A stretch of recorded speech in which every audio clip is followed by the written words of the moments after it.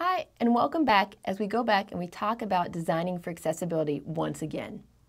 So, as I've been telling you more and more kind of cool, neat things, I sometimes feel the need to rein you back in and remind you of the basics of when you're designing your page.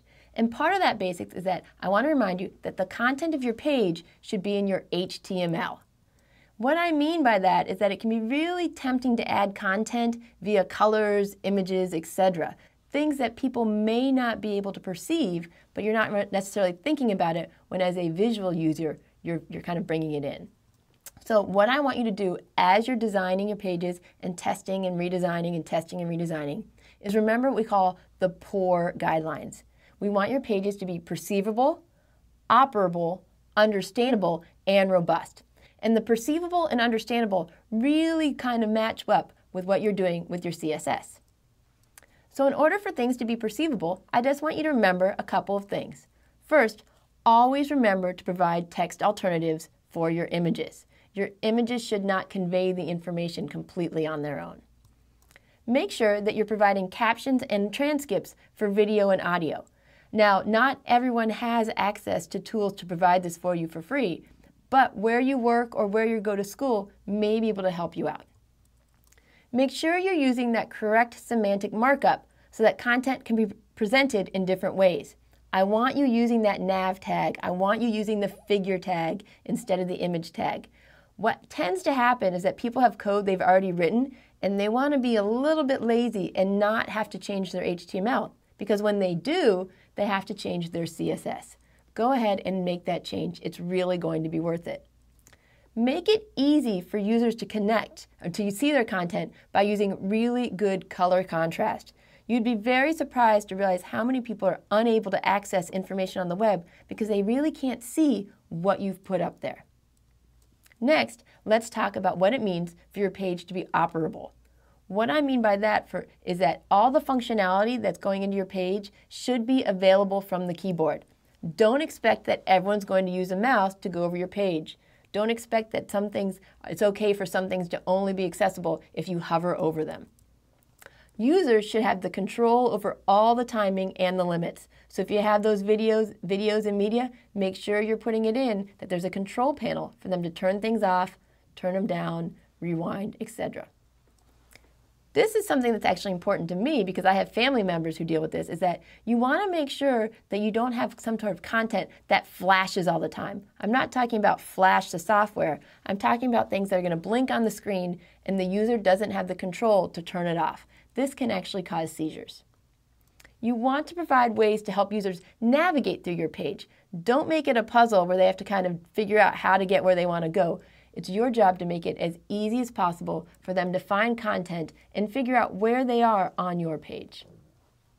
Here's just a few quick examples of different ways that people sometimes access the web, whether it's with a st pen stick, a keyboard, a remote, a kind of accessible uh, keyboard, or even some sort of puff devices that they can use to navigate through the web.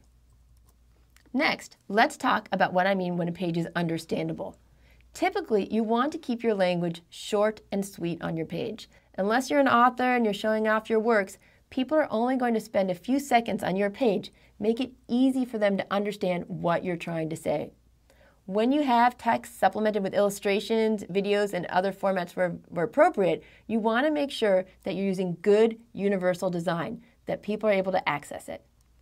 Navigation, information, structure, those should be really separate and discernible from your content. Make people make it easy for people to get away, get back to certain pages, etc. And finally, make your pages operate in predictable ways. Um, this can be kind of a confusing thing to just talk about, but have you ever been to a website where you just can't quite figure out how to get back to the page you were three, three pages ago? Make it easy for people to get back. Finally, help users avoid and correct mistakes. It's up to you, not them, to figure out how to access the information. Finally, the R, the robust in the POUR. Is your site functional across various technologies, a smartphone, screen reader, laptop, pen sticks? As you work with me and we go further on, we'll talk about responsive design in some later classes. And that's making sure that your page looks the best it can look on different screen sizes. But it's more than screen sizes. You also need to think about things like we said, the pen sticks and the screen readers. So there's going to be syntax errors that you might have in your code that don't affect what the page looks like to you. You've gone in, it looks great, you're like, I'm golden. You have to remember that those syntax errors can mess up other technology. So make sure that you're adhering to standards and to ensure future compatibility with new browsers. And the easiest way to do that is to go on to validator.w3c.org and the web wave.webaim.org to validate your code. It's simple, it's fast, and it's really going to give you a much better page. So, just to review, I'm not asking you to make great strides. I just want you to do the little things right. And that really starts with the proper HTML tags. Styling can actually make it harder for some people to access the information. So, test, test, test. Have people look at your page, have them give you feedback. Don't take it personally. It's not about your coding, it's about really making a great product. Finally, get into the early habit of utilizing these different accessibility tools. They're there for you to make your life easier, not harder. Finally, the one thing I really struggle with with students is we all want to do the cool new things, but cool new styles and cool new technologies should not be at the cost of accessibility and people viewing your page. So really, I'm hoping that as you're learning this code and you're getting a little bit stressed out about stressed out about utilizing all these cool things you're learning, that you're remembering it's not about having the coolest web page. It's about having a clean page that really portrays the information you want to get out on the web. Good luck.